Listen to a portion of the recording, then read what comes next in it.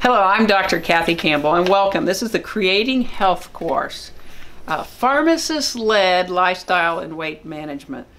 And this course evolved out of my efforts to provide, to learn the information to help people create a foundational health.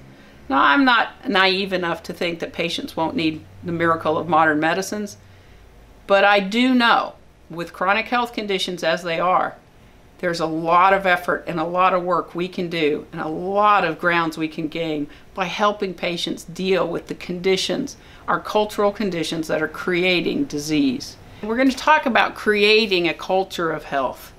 And we're going to look at the drivers of health and how do you craft a culture that produces health. I look forward to your partnership in creating a culture that produces health. Thank you.